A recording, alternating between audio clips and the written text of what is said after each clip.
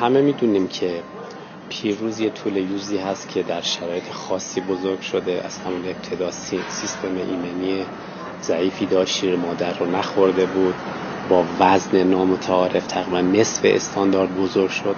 به همین دلیل عفونت های متعددی پیش اومد و مجبور شدیم در دورهای مختلف با نظر دامپزشکان داروهای متفاوتی رو مصرف کنه و به طور کلی یک حیوانی نبود که در شرایط کاملا طبیعی بزرگ بشه و این خودش باعث شد که اون توانایی مقابله با خیلی از در واقع عوامل بیماریزا رو نداشته باشه.